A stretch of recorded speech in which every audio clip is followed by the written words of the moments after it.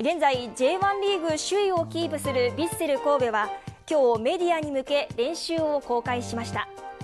念願の J1 リーグ初優勝まで残りあと5試合です。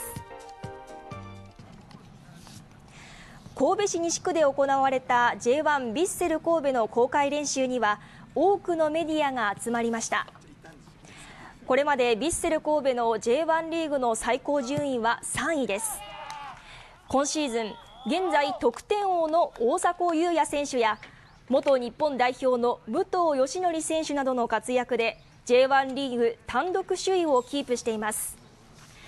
勝ち点は58で2位の横浜 F・ マリノスに4点差をつけています。今日は21日の鹿島アントラーズ戦に向けボール回しや実戦形式の練習を行いました。